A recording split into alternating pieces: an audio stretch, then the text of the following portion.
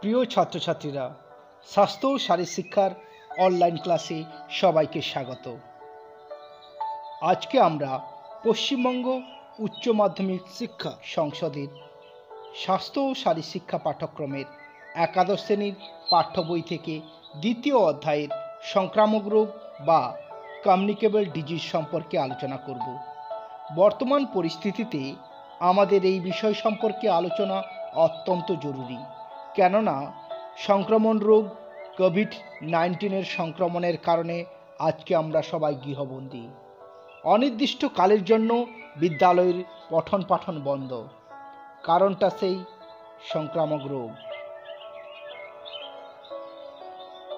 প্রথমে আমরা জেনে নেব সংক্রামক রোগ আসলে কি বা সংক্রামক রোগ কাকে বলে। সংক্রামক রোগ বলতে সেই সব রোগকে বোঝায় যেসব রোগ একজনের শরীর থেকে অন্যজনের শরীরে বিভিন্ন উপায়ে ছড়িয়ে পড়ে।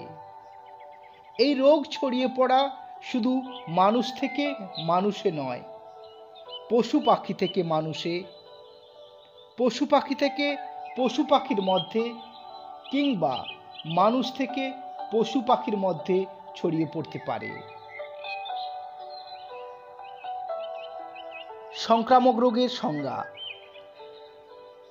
যে সমস্ত রোগগুলি সহজে এক দেহ থেকে অন্য দেহে সরাসরি বা বাহক ভেক্টরের মাধ্যমে ছড়িয়ে পড়ে, তাকে সংক্রামক রোগ বলে।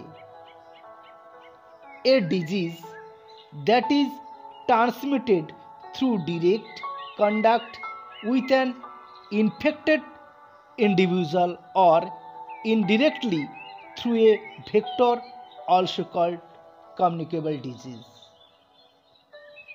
সংক্রামক রোগের প্রকারভেদ।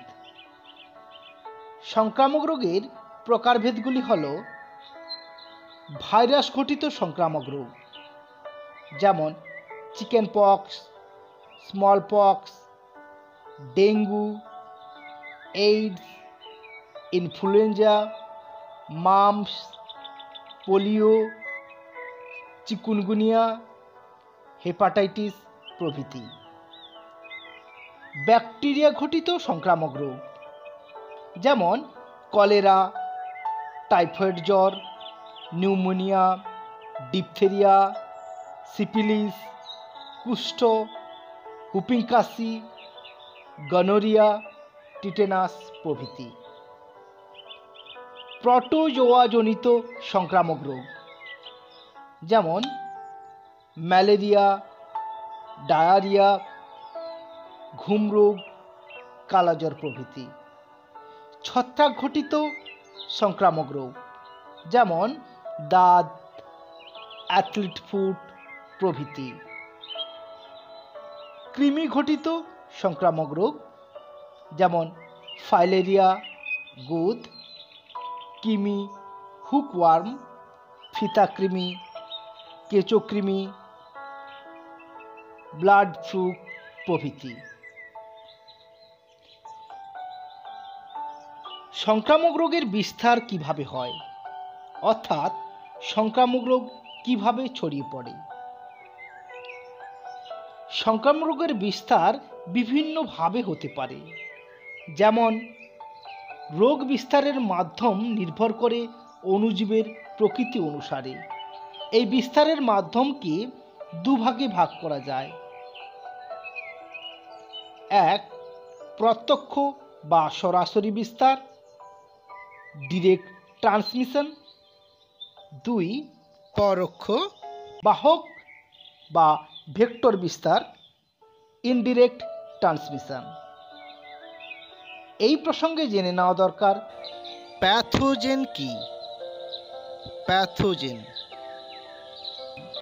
যে সমস্ত জীব রোগের সংক্রমণ ঘটায় তাদের প্যাথোজেন বলে যেমন ভাইরাস ব্যাকটেরিয়া ছত্রাক প্রভৃতি।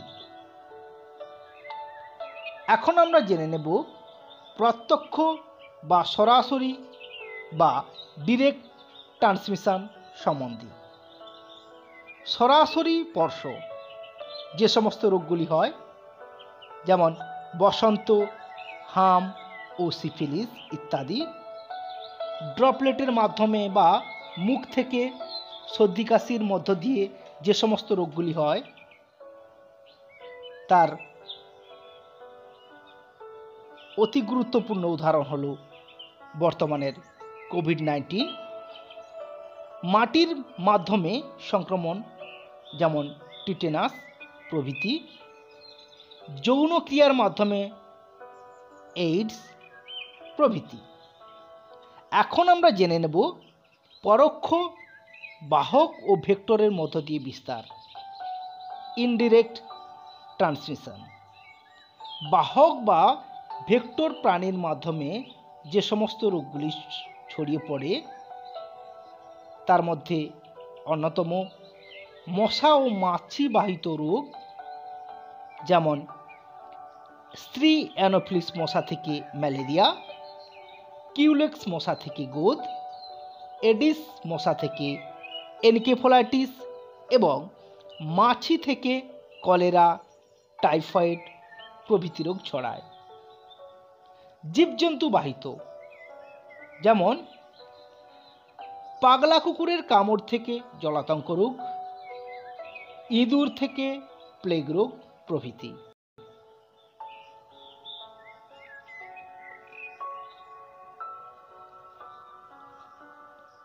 এখন আমরা জেনে নেব রোগ সংক্রমণের প্রকৃতি বা বিস্তার অনুসারে রোগকে কয় ভাগে ভাগ করা হয়েছে এবং কি কি?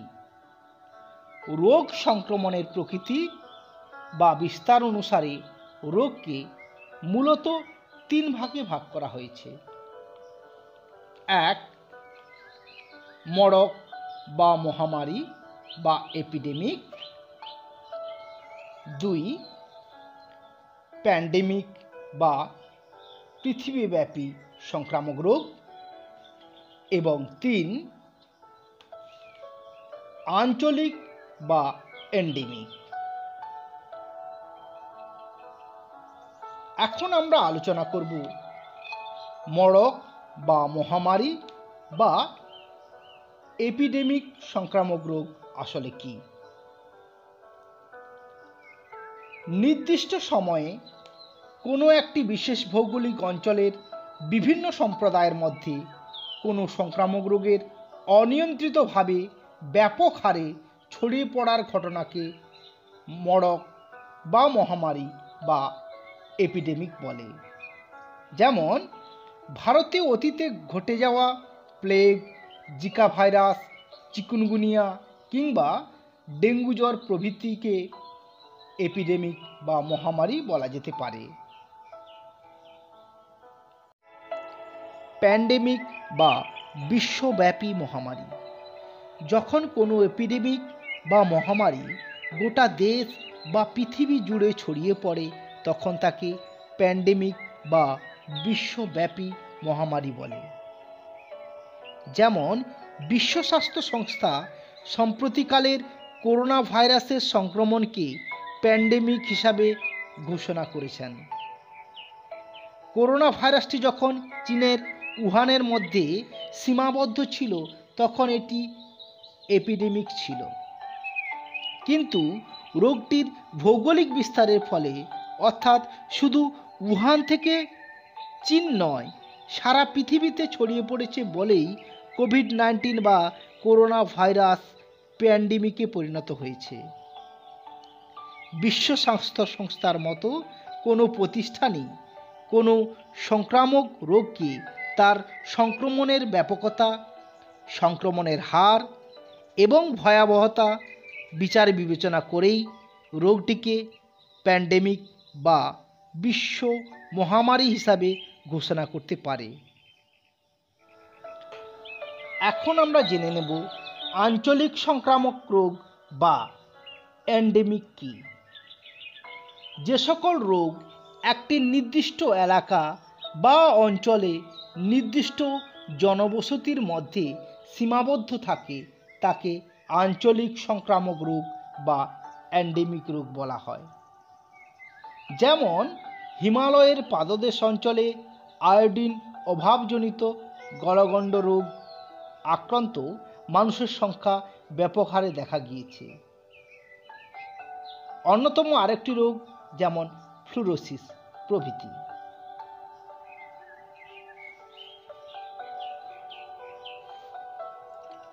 রোগ সংক্রমণের বিভিন্ন অবস্থা বা পর্যায়।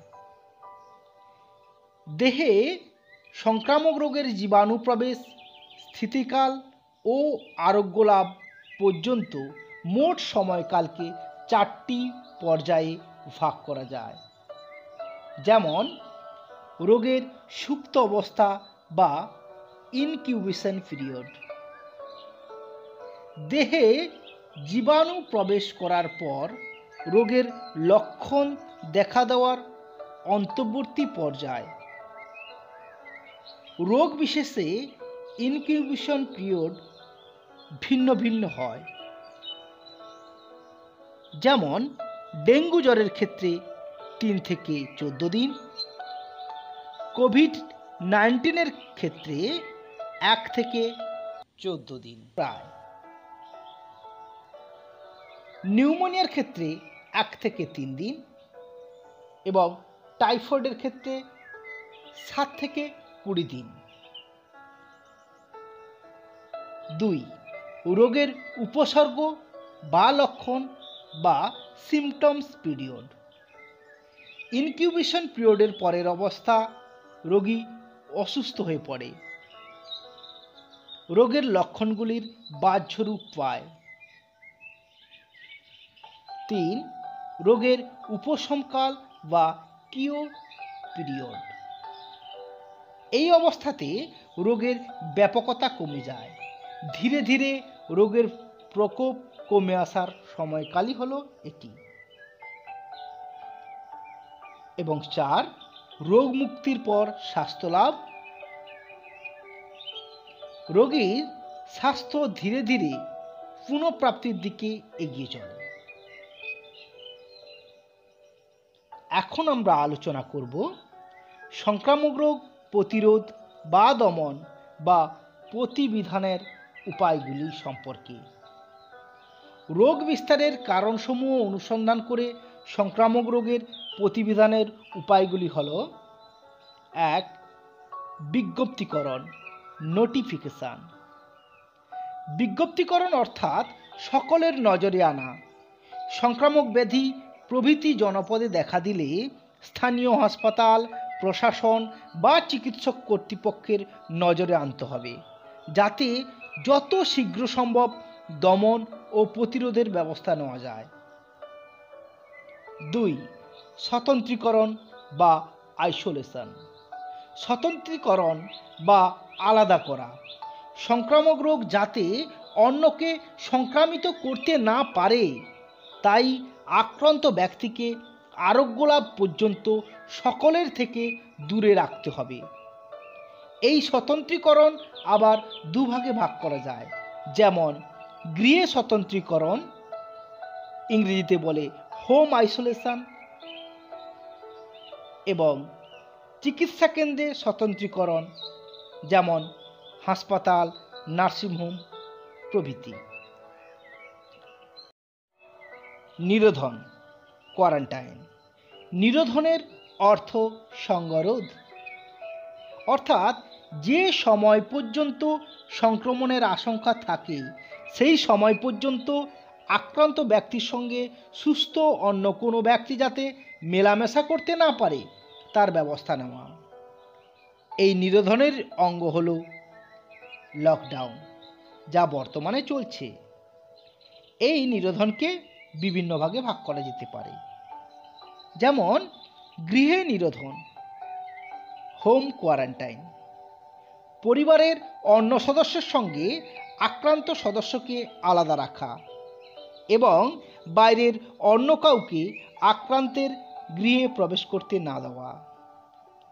পাড়া ভিত্তিক গ্রাম ভিত্তিক থানা ভিত্তিক জেলা ভিত্তিক রাজ্য ভিত্তিক অথবা দেশভিত্তিক যাতায়াত বা প্রবেশের ক্ষেত্রে নিষেধাজ্ঞা হতে পারে।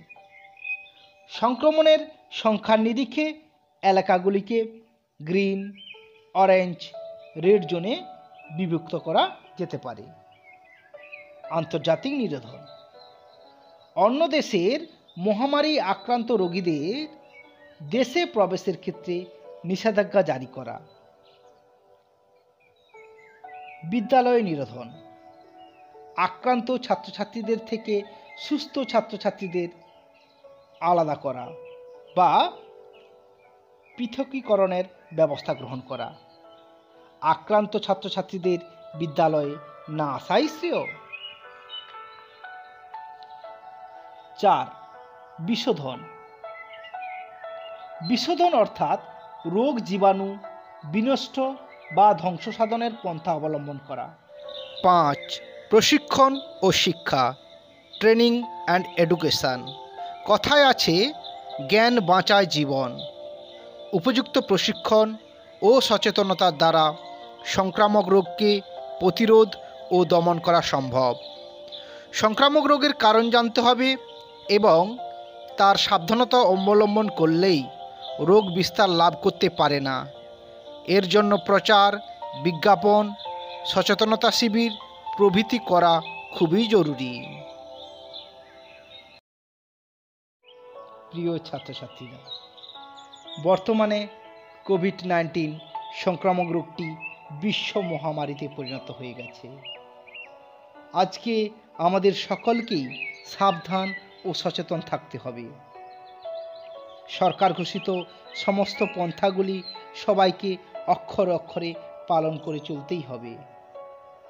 করোনা সংক্রমণ এড়াতে জনসমাগম বা ভিড় এড়িয়ে চলা, বাইরে বেরোলে মাস্কের ব্যবহার করা, স্যানিটাইজারের ব্যবহার করা এবং বারবার সাবান দিয়ে হাত ধোয়ার অভ্যাস তৈরি করতেই হবে। জ্বরের সাথে শ্বাসকষ্ট হলেই অবশ্যই বাড়ির কাছে আশা দিদি অথবা হাসপাতালে যোগাযোগ করতেই হবে। নিজে সুস্থ থাকবে, অপরকে সুস্থ রাখবে। সবাই ভালো থেকো বিষ্টম লাভ